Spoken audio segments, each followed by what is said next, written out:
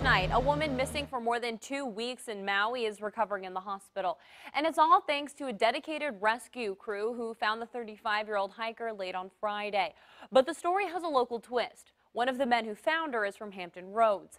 10 on your side's Tamara Scott talked with the man originally from Chesapeake about the rescue. Tamara. Yeah, well, Kayla, Chris Berquist moved to Hawaii a few years ago. He never thought this is where life would take him, but he says from the moment he joined the volunteer team, he knew he was there for a reason, and now his life has been forever changed. It's a moment that Chris Berquist says he'll never forget. I screamed it right away. We found her, we found her. Absolutely no doubt at all. I almost fell out of a helicopter. We were all so excited. You feel the whole helicopter lurch at the right as we all swing over to that side. The moment he spotted Amanda Eller, the woman missing in Maui for more than two weeks. You could still tell that she was wearing a white shirt and blue pants. It just wasn't quite as white, and the pants weren't quite as blue. Um, Javi could tell from, you know, we were only 150 feet above her, so Javi could tell that she was barefoot.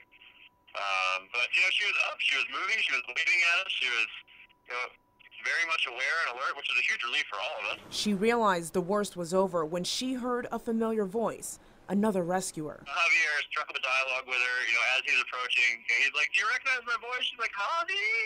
And he's like, yeah, it's me, it's me. This is when Chris knew he was there for a reason.